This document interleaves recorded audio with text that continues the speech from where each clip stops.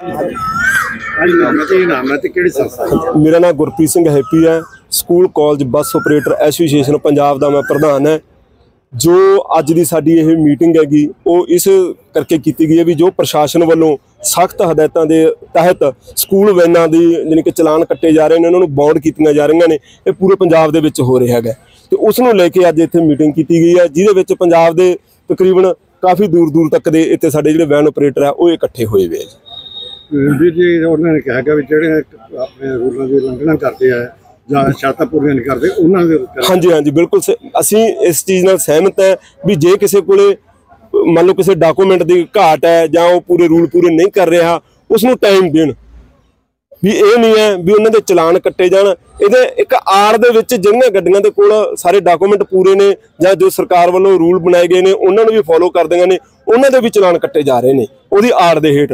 ਬਾਕੀ ਸਭ ਤੋਂ ਵੱਡੀ ਗੱਲ ਇਹ ਹੈ ਵੀ ਜਦੋਂ ਉਹ ਦੁਪਹਿਰ ਵੇਲੇ ਚਲਾਨ ਕੱਟਦੇ ਨੇ, ਉਦੋਂ ਸਭ ਤੋਂ ਵੱਡੀ ਸਮੱਸਿਆ ਇਹ ਹੁੰਦੀ ਹੈ ਵੀ ਇੱਕ ਬੈਨ ਦੇ ਵਿੱਚ 40 ਬੱਚੇ ਹੁੰਦੇ ਨੇ 35 30 35 40 ਤੇ ਉਹ ਜਦੋਂ ਬੈਨ 10 ਮਿੰਟ ਲੇਟ ਹੋ ਜਾਂਦੀ ਹੈ ਤੇ ਅਲੱਗ-ਅਲੱਗ ਪੇਰੈਂਟਸ ਦੇ ਫੋਨ ਆਉਣੇ ਸ਼ੁਰੂ ਹੋ ਜਾਂਦੇ ਡਰਾਈਵਰ ਨੂੰ ਵੀ ਕੀ ਕਾਰਨ ਲੇਟ ਕਿਉਂ ਹੋ ਗਈ, ਕੀ ਕਾਰਨ ਲੇਟ ਕਿਉਂ ਹੋ ਗਈ, ਕੀ ਤੁਸੀਂ ਇਹ ਦੇਖੋ ਵੀ ਉਹਦੀ ਕਿੱਡੀ ਵੱਡੀ ਜਵਾਬਦੇਹੀ ਵਾ। ਜੇ ਉਹ ਫੋਨ ਨਹੀਂ ਚੱਕਦਾ, ਤਾਂ ਪਰਿਵਾਰ ਆ ਜਿਹੜਾ, ਉਹ ਇਸ ਸੰਸਦ ਦੇ ਵਿੱਚ ਚਲਾ ਜਾਂਦਾ ਵੀ ਕੀ ਗੱਲ ਹੋ ਗਈ ਫੋਨ ਕਿਉਂ ਨਹੀਂ ਚੱਕ ਰਿਹਾ, ਕੋਈ ਅਨਸੁਖਵੀ ਘਟਨਾ ਨਾ ਵਾਪਰ ਗਈ ਹੋਵੇ।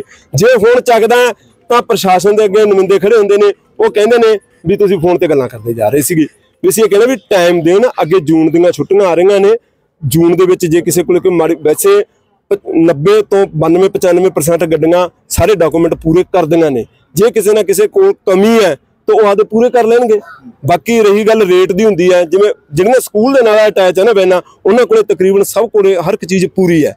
ਜਿਹੜੀਆਂ ਕੁਝ ਪ੍ਰਾਈਵੇਟ ਤੇ ਚੱਲ ਰਹੀਆਂ ਨੇ, ਕਾਫੀ ਸਕੂਲ ਆਹ ਸਾਡੀ ਸਕੂਲਾਂ ਨਾਲ ਵੀ ਗੱਲ ਚੱਲ ਰਹੀ ਹੈ ਇਸ ਵਿਸ਼ੇ ਤੇ, ਵੀ ਤੁਸੀਂ ਗੱਡੀਆਂ ਉਹਦੇ ਨਾਲ ਅਟੈਚ ਕਰੋ। ਉੱਥੇ ਆ ਕੇ ਥੋੜੀ ਜੀ ਸਮੱਸਿਆ ਆਉਂਦੀ ਹੈ, ਕਿਉਂਕਿ ਪੇਰੈਂਟਸ ਉਹਨਾਂ ਨੂੰ ਉਹ ਰੇਟ ਨਹੀਂ ਦੇ ਰਹੇ।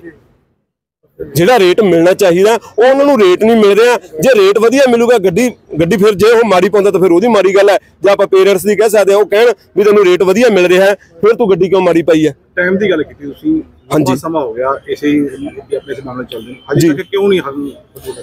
ਮੈਂ ਕਹਿੰਦਾ ਜੀ ਦੇਖੋ ਕੋਈ ਵੀ ਚੀਜ਼ ਹੈ 100% ਨਹੀਂ ਹੁੰਦੀ ਮੈਂ ਅੱਜ ਵੀ ਦਾਅਵੇ ਨਾਲ ਕਹਿਣਾ 90% ਪਲੱਸ ਜੋ ਗੱਡੀਆਂ ਨੇ, ਉਹ ਡਾਕੂਮੈਂਟ ਪੂਰੇ ਕਰਦੀਆਂ ਨੇ। ਜੇ ਕਿਸੇ ਗੱਡੀ ਦੇ ਵਿੱਚ ਉਹਨਾਂ 90% ਦੀ ਗੱਲ ਕਰੀਏ, ਜੇ ਕਮੀ ਆ ਜਾਂਦੀ ਹੈ, ਮੰਨ ਲਓ ਕਿਸੇ ਵੇਲੇ ਮੌਕੇ ਤੇ ਜਾਂ ਕਿਸੇ ਵਰਦੀ ਨਹੀਂ ਪਾਈ, ਜਾਂ ਮੰਨ ਲਓ ਉਹ ਗੱਡੀਆਂ ਦੇ ਤਕਰੀਬਨ ਟੈਕਸ ਟੂਕਸ ਸਭ ਕੁਝ ਓਕੇ ਹੈ। ਜਾਂ ਮੰਨ ਲਓ ਕੋਈ ਪਾਸਿੰਗ ਦੀ ਸਮੱਸਿਆ ਆਉਂਦੀ ਆ ਉਹ ਕਈ ਵਾਰ ਟਰਾਂਸਪੋਰਟ ਵਿਭਾਗ ਵੱਲੋਂ ਲੇਟ ਹੋ ਜਾਂਦਾ ਨਹੀਂ ਹੁੰਦਾ। ਬਾਕੀ ਤਕਰੀਬਨ ਹਰ ਇੱਕ ਚੀਜ਼ ਹਰ ਇੱਕ ਗੱਡੀ ਦੇ ਵਿੱਚ ਕੈਮਰੇ ਲੱਗੇ ਹੋਏ ਨੇ।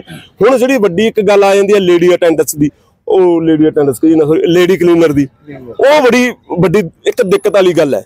ਤੁਸੀਂ ਦੇਖੋ ਵੀ ਇੱਕ ਸਕੂਲ ਦੇ ਵਿੱਚ 30 ਤੋਂ 35 ਗੱਡੀਆਂ ਨੇ 30 ਤੋਂ 35 ਜਿਹੜੀਆਂ ਗੱਡੀਆਂ ਨੇ 30 35 ਡਰਾਈਵਰ ਹੋ ਗਏ 30 35 ਲੇਡੀਜ਼ ਹੋਗੀਆਂ ਚਲੋ ਡਰਾਈਵਰ ਤਾਂ ਕਿਤੇ ਨਾ ਕਿਤੇ ਆਦੇ ਕੰਮ ਕਿਤੇ ਲੱਗੇ ਲੇਡੀਜ਼ ਦਾ ਕੀ ਕਰਨਗੇ?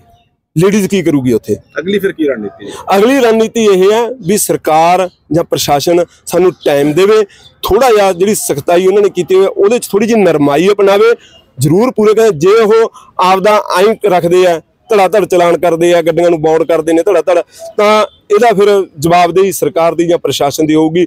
ਅਸੀਂ ਅੱਗੇ ਜਾ ਕੇ ਉਸ ਦਾ ਪੂਰੇ ਪੰਜਾਬ ਲੈਵਲ ਤੇ ਪੂਰੀ ਅਸੀਂ ਬੰਦ ਕਰਗੇ ਤੇ ਆਪਦੀ ਕੋਈ ਰੈਲੀ ਰੱਖਗੇ ਜਾਂ ਅਸੀਂ ਕੋਈ ਧਰਨਾ ਦੇਈਏ। ਅੱਜ 60 ਤੋਂ 70 ਬੰਦੇ ਬਾਹਰੋਂ ਆਏ ਆ। ਤੇ ਉਹ ਜਿਹੜਾ ਹੁਣ ਅਸੀਂ ਇਦੋਂ ਅਗਲੀ ਰਣਨੀਤੀ ਹੈ ਉਹ ਅਸੀਂ ਜ਼ਿਲ੍ਹਾ ਵਾਈਜ਼ ਮੀਟਿੰਗਾਂ ਕਰਨੀਆਂ। ਹਫ਼ਤੇ ਦੇ ਵਿੱਚ ਦੋ ਤੋਂ ਤਿੰਨ ਸਾਰੇ ਜ਼ਿਲ੍ਹੇ ਕਵਰ ਕਰਨੇ ਆ। ਸਾਰੇ ਜ਼ਿਲ੍ਹੇ ਕਵਰ ਕਰਕੇ ਉੱਥੇ ਜਿਨ੍ਹਾਂ ਦੇ ਵਿੱਚ ਕਮੀਆਂ ਹੋਣਗੀਆਂ ਵੈਨਾਂ ਦੇ ਵਿੱਚ ਉਹਨਾਂ ਨੂੰ ਵੀ ਕਹਾਂਗੇ ਵੀ ਤੁਸੀਂ ਆਪਦੀਆਂ ਕਮੀਆਂ ਪੂਰੀਆਂ ਕਰੋ ਤੇ ਜਿੱਥੇ ਆਪਦੀ ਗੱਲ ਹੈ ਉਹ ਵੀ ਅਸੀਂ ਰੱਖਾਂਗੇ। ਹਾਂ ਸਰ ਕੀ ਨਾਮ ਹੈ ਤੁਹਾਡਾ ਤੇ ਕਿਹੜੀ ਯੂਨੀਅਨ ਨੇ? ਕੀ ਮਾਮਲੇ ਦੀ ਕਰਦੇ ਜੀ ਮੇਰਾ ਨਾਮ ਲਖਵਿੰਦਰ ਸਿੰਘ ਸ਼ਰਮਾ ਹੈ। ਸਾਡੀ ਸਬੋ ਐਸੋਸੀਏਸ਼ਨ ਪੰਜਾਬ ਤੋਂ ਜਿਹੜੀ ਅੱਜ ਮੀਟਿੰਗ ਇੱਥੇ ਚੱਲ ਰਹੀ ਹੈ ਮੈਂਬਰਾਂ ਦੀ ਰੋਜ਼ ਗਾਰਡਨ ਦੇ ਵਿੱਚ ਅਸੀਂ ਇੱਕ ਦੋ ਦਿਨ ਪਹਿਲਾਂ ਸਾਰੇ ਸਾਡੇ ਮੈਂਬਰਾਂ ਨੂੰ ਸੱਦਾ ਦਿੱਤਾ ਸੀ। ਇਹ ਜਿਹੜਾ ਸਾਡਾ ਇਕੱਠ ਹੈ ਅੱਜ ਦਾ ਇਹ ਅਸੀਂ ਜੋ ਸਾਡੀ ਸਰਕਾਰ ਨੇ ਮਹਿੰਦਰਗੜ੍ਹ ਨੂੰ ਲੈ ਕੇ ਜੋ ਹਾ- ਹਾਦਸਾ ਹੋਇਆ ਸੀਗਾ ਬੱਚਿਆਂ ਦੀ ਵੈਨ ਦਾ, ਉਹਨੂੰ ਲੈ ਕੇ ਬੜਾ ਸਾਡੇ ਤੇ ਸਕੰਜਾ ਜ਼ਿਆਦਾ ਗਲਤ ਤਰੀਕੇ ਨਾਲ ਕੱਸਿਆ ਹੋਇਆ। ਜਿਹੜੀਆਂ ਗੱਡੀਆਂ ਦੇ ਸਾਡੇ ਡਾਕੂਮੈਂਟੇਸ਼ਨ ਪੂਰੇ ਨੇ ਨਾਰਮਲਸ ਪੂਰੇ, ਉਹਨਾਂ ਤੇ ਵੀ ਸਾਡੀ ਨਜਾਇਜ਼ ਸਖਤਾਈ ਕਰ ਰਹੇ ਆ। ਜਿਹਦੇ ਨਾਲ ਸਾਡੇ ਇਸ ਵੈਨ ਧੰਦੇ ਦੇ ਵਿੱਚ ਬੜਾ ਮਾਹੌਲ ਖੌਫਜਾ ਬਣਿਆ ਹੋਇਆ। ਸਾਡੇ ਡਰਾਈਵਰ ਔਰ ਬੱਚੇ ਜਿਹੜੇ ਹੈਗੇ ਉਹ ਡਰ ਰਹੇ ਆ। ਅਸੀਂ ਪ੍ਰਸ਼ਾਸਨ ਨੂੰ ਇਹ ਆਪਣੇ ਵੱਲੋਂ, ਸਾਡੀ ਸੁਸਾਇਟੀ ਵੱਲੋਂ ਜਾਂ ਐਸੋਸੀਏਸ਼ਨ ਵੱਲੋਂ ਅਸੀਂ ਇੱਕ ਦੱਸ ਰਹੇ ਹਾਂ ਉਹਨਾਂ ਨੂੰ ਵੀ ਸਾਡੀ ਬੇਨਤੀ ਕਰ ਰਹੇ ਹਾਂ ਕਿ ਜੋ ਰੋਖਾ ਸਾਡੇ ਤੇ ਨਰਮ ਵਰਤਿਆ ਜਾਵੇ। ਜੇ ਅਗਰ ਇਸ ਤਰ੍ਹਾਂ ਹੀ ਸਾਡੇ ਨਾਲ ਧੱਕਾ ਹੁੰਦਾ ਰਿਹਾ ਤਾਂ ਅਸੀਂ ਆਉਣ ਵਾਲੇ ਟਾਈਮ 'ਚ ਸਾਡੇ ਸੰਘਰਸ਼ ਜਿਹੜੇ ਹੈਗੇ ਆ, ਸਾਨੂੰ ਤੇਜ਼ ਕਰਨੇ ਪੈਣੇ ਆ। ਕਿਉਂਕਿ ਸਾਡੀਆਂ ਜੋ ਮੰਗਾਂ ਨੇ ਪਿਛਲੇ ਕਈ ਸਮੇਂ ਤੋਂ ਸਾਡੀਆਂ ਚੱਲ ਰਹੀਆਂ ਟੈਕਸਾਂ ਦੇ ਪ੍ਰਤੀ ਸਾਡੀਆਂ ਮੰਗਾਂ ਨੇ ਉਹਦੇ ਪ੍ਰਤੀ ਅਸੀਂ ਸਕੂਲਾਂ ਵਾਲਿਆਂ ਨਾਲ ਮਿਲ ਕੇ ਅਸੀਂ ਰਿਟ ਪਾਈ ਹੋਈ ਹੈ। ਉਹਦਾ ਅਸੀਂ ਫੈਸਲੇ ਦੀ ਵੇਟ ਕਰ ਰਹੇ ਹਾਂ ਉਸ ਤੋਂ ਬਾਅਦ ਸਾਡੀ ਅਗਲੀ ਜੋ ਰਣਨੀਤੀ ਉਹ ਹੋਏਗੀ।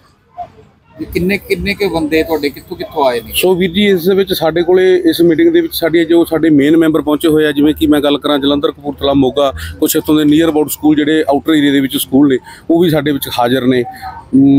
ਕਈ ਕਈ ਜ਼ਿਲ੍ਹਿਆਂ ਦੇ ਸਕੂਲ ਸਾਡੇ ਕੋਲ ਇੱਥੇ ਸ਼ਾਮਲ ਹੋਏ ਜਿਨ੍ਹਾਂ ਦੇ ਹਾਲੇ ਕੀ ਇੱਕ ਦੋ ਦੋ ਨੁਮਾਇੰਦੇ ਸਾਡੇ ਕੋਲੇ ਹਾਜ਼ਰ ਹੋਏ ਆ।